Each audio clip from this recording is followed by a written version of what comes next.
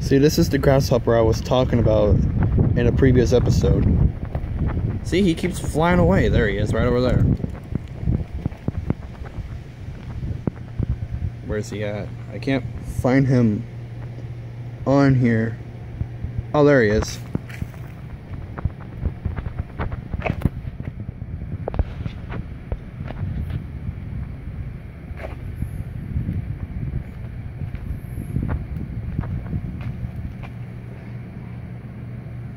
Yeah, that's right. Into the void you go.